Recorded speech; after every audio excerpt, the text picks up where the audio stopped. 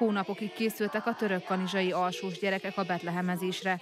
Détári Nóra és osztálya már negyedik éve indult körútra Szenteste kis pásztorjátékukkal. Mi a legjobb ebben az egészben? Hogy mindenkinek mosolyoghatunk az arcára. És kaptak el érte valamit? Igen, néha kapunk csomagot, meg ö, csokoládét, ilyeneket szoktunk kapni a fellépésekkor. A Tiszta Gyöngye Művelődési Egyesület csak nem egy évtizede szervez Betlehem járást az alsós gyerekekkel, amelyel Újhelyi Nándor elnökségi tag szerint már számos versenyt is nyertek országszerte minden évben újra és újra felelevenítik a kis Jézus születésének a történetét.